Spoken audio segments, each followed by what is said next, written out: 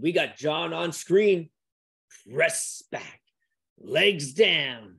Excellent work, everybody. When we draw that handle to the body, are we letting it drop into the lap or are we keeping it up, bringing it to that mark on the body? Think about our sternum. We want that straight, direct application of force all the way across, pushing it back, driving the legs, relaxed in the shoulders.